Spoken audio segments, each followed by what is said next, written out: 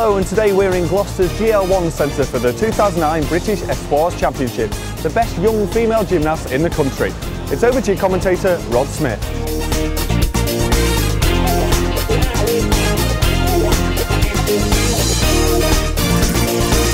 Next gymnast on vault is Alex Cooper from City of Liverpool.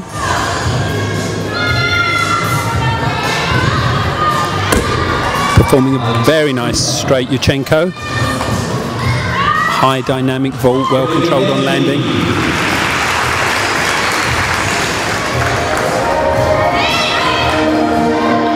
Alex is one of those gymnasts hoping to qualify for vault finals, so here's a second vault.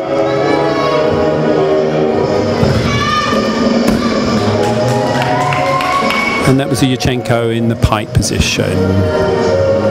Ideally, she would have liked more pike than that, but again, a very dynamic vault. The next gymnast on vault is Ruby Harrold from the Academy.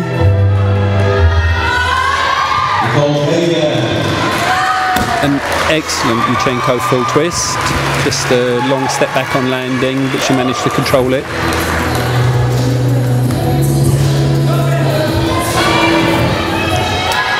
in this competition, if the gymnasts want to qualify for the national finals, they need to do two vaults. So this is Ruby's second vault. A very nice Yurchenko straight. Just a little lack of repulsion off the top there, so she wasn't able to open fully, but a very good attempt there for a difficult vault.